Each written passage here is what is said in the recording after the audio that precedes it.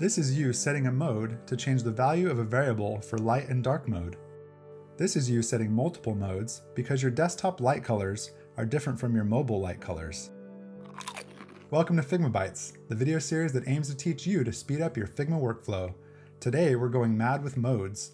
You'll learn how to create variables that inherit other variables so you'll have more control over your contexts. I still don't have the new Figma UI, so apologies if UI locations have changed. I'll do an overview of the changes as soon as I get it. Figma, what's going on? Tag them in the comments below and tell them they should give it to me. Okay, make sure nothing is selected in your file and move over to the Local Variables section and open the dialog. Click the Create Variable button and select Color.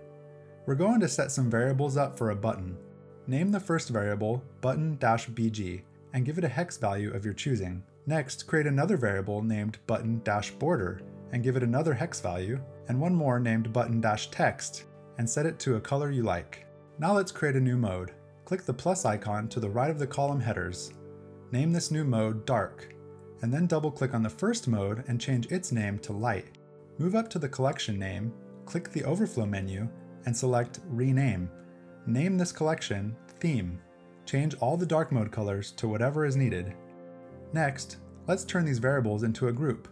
Select the first row, hold Shift, and select the last row. Now right-click and select New Group with Selection. Name this group Mobile. Right-click on the new mobile group and select Duplicate Group. Name this new group Desktop. Update the colors for desktop needs. Close the Variables dialog and head over to the button or whatever UI you are working on and assign your new variables. Wait, which one do we select, mobile or desktop? With the way we have our variables right now, we'll have to have two buttons, one for mobile and one for desktop. This will be our mobile button. To set light mode or dark mode, move over to the layer section of the design panel. In the upper right, there's a little stacked cog icon. Click that and select theme and then dark. The colors of the button have changed to dark mode. I've skipped ahead to show a desktop button in dark mode too. It would be much nicer to be able to set both of these modes in a single button. Let's set that up.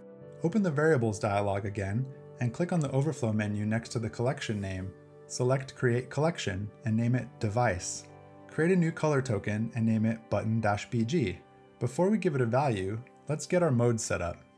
Rename the first mode to Mobile, and then create a new mode named Desktop. In our Mobile Button BG variable, let's select the color box and then switch into the Libraries tab. Select our Theme Mobile Color Button BG variable, do the same thing for the desktop one. So now these are referencing variables from our theme collection. I'll skip ahead real quick and now I have the other two variables set up to reference their equivalent theme tokens. Close the variables dialog because it's time to see this in action. Let's make a copy of one of these buttons and paste it down below. Change our variable assignments to the ones from our new device collection. The fill becomes device button BG, stroke becomes device button border, and the fill color of the text becomes device button text. Now we can set our modes. Select the button, over in the layer section click that cog icon again. Now there are two options. Set the device to desktop and the theme to light. Now with this single button we can make any mock we need. Did you catch how this works? It confused me at first too. Let's do a quick overview. The top level variables contain every variable you will need with as many modes as you need. We use light and dark to capture the themes.